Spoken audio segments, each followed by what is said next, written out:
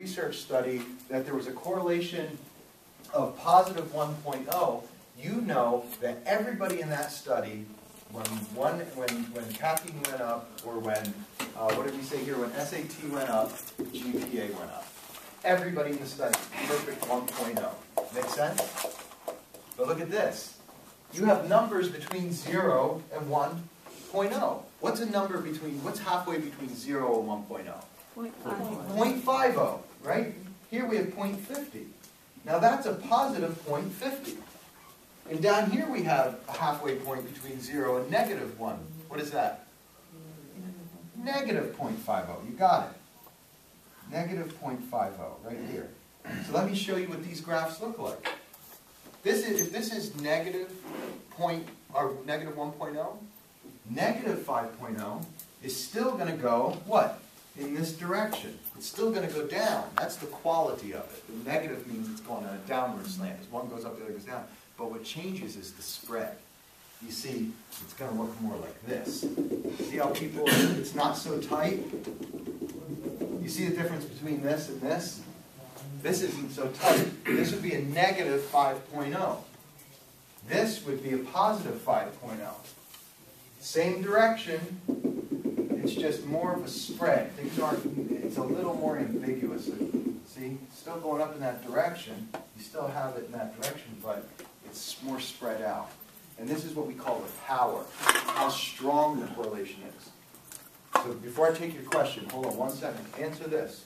What is stronger, a positive 1.0 correlation or a positive 0.50 correlation? Positive one. Positive. Point fifty. Okay, listen to the question again, very carefully. Which is stronger, positive 0.50 or positive 1.0? Positive one oh. Positive 1.0. Which is stronger, positive 5.0? Um, let's forget. Positive 0.50 or negative 1.0? Negative Negative one oh. Got it. You see this? The strength is the number. When you're asked what's the strength of correlation, you choose the bigger number. When you're asking for the quality of it, that's whether one goes up and the other goes down. So people, I know students oftentimes think positive is always stronger. That's not the case. You have to think of it as a number line. Cool? Okay. I, I'm just saying. If you ask about it, cool. Cool, cool, cool. Any other questions about correlation? Let me throw a few out at you. Which is stronger, negative 0.25 or negative 0.20? Negative point two five. Which is stronger, negative 0.25 or positive 0.50? Positive. Which is stronger, negative 0.50 or positive 0.50? Neither. They're equal, equally strong. Think, think about this again. Which is stronger, negative 0.50 or positive 0.50? Neither. Doesn't Negative. say because. I may say they're the same. There? They're the same. You look at the number. Positive isn't stronger than negative. Oh. Positive means as one goes up, the other goes up. It's confusing. You know why it's confusing? It's not, it's because that's the way we're, we're taught to think. We're programmed to think. We're programmed to think that positive means stronger and negative means weaker. And you gotta like suspend that when you're thinking this way. So, those of you who are confused about this, you have to let go of something you learned. Because you're, you're thinking logically and intelligently, but it's based on different rules than how we gotta follow here, you know? That's cool. Uh, uh, is that good? Correlation is exhausted here? You're happy with it? Can I show you a couple of very interesting correlations? See, these are all linear correlations. Linear means it's a straight line, right? This is a straight line. Here's another straight line. And you guys know I like to talk about my funny nonlinear correlations. Ready? Don't ask me how they do this in numbers, I forget.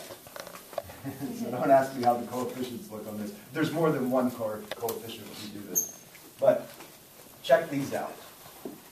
There's a study in social psychology that we're going to look at in here that actually is evidence against a linear idea that as income increases, contentedness in life increases. See, we're, oftentimes in capitalism, we're taught that it's a perfect positive correlation. The more money I have, the happier I am, right? That's the concept, the myth, the ideology. Science shows us something a little different. When you uh, do surveys of individuals and you ask them, what's your income? Uh, based on zero to two hundred thousand dollars a year. And what's your contentedness? What you find is between content and happy, what you find is something that's nonlinear. You don't get a straight line. You get something that looks like this. Actually, this would be income down here. Sorry. And contentedness up here. Now this will make sense. This is a nonlinear correlation. It's nonlinear. It's not a line. It's a U. It's an, It's called an inverted U curve. And what they find is contentedness re reaches its peak right about here, and that is around. Uh, you've heard this before. I think I told you before, right? It's around sixty thousand dollars a year. At around sixty thousand dollars a year, of course, this depends on where you're living, et cetera, et cetera. You know, might not be sixty thousand dollars a year in a place like Manhattan then it might be seventy-five thousand a year. But for most communities, when someone's making around sixty thousand dollars a year, they claim that this is just enough to feel that there's a little there to work with in case of emergency, enough to take the little trip with the kids, enough to enjoy life and feel a little safe, but not enough to start getting bored with having excess. You know, the stuff that happens when we have excess. And this is really contrary to what we're often taught, that the more we have, the more we'll be happy. I actually find that when people start to make more and have more, they have more to worry about, more to protect. You know, as people get wealthier, it's like drinking salt water. The more you drink, the thirstier you get. And power and wealth is much the same. That's a nonlinear. Is that sixty thousand for an individual or a family? That's a good question. That's a good question. That I can't remember. If my memory serves me correctly, it's per individual.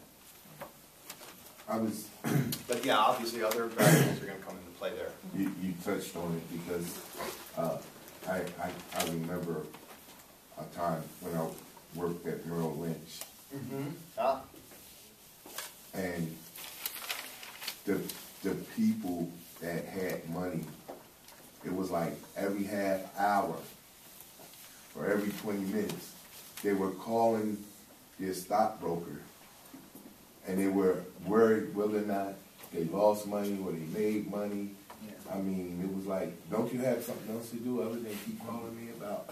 Yeah, well, I think that the good analogy, Erich Fromm is the one that we're gonna study later, often said, as I said before, money and power is like drinking salt water. The more you drink, the thirstier you get. You know, there's something very strange about that. Okay, here's another nonlinear correlation that I like to talk about. I think it's funny, and that is contentedness in marriage, contentedness with your marriage partner in years married. You might think that as you go on, contentedness goes down or contentedness goes up. It's not linear. But it turns out to be this. You're very happy, you're very sad. Whoops, I'm even happy when I'm sad. That's the key. And here we have 50 years of marriage, and right around here we have 25 years. What they find is that it starts off, people are in bliss. And then something happens, and it goes down. And then, right around here, it starts to go back up. But it's a U-curve, nonlinear. U-curve correlation. You ready for this? What happens right here about 20 years into the marriage? What typically happens? Children are leaving the house. They're happy, uh-oh, expense, expense, expense, childbearing misery. and then, uh-oh, happiness again. Can I tell you guys something?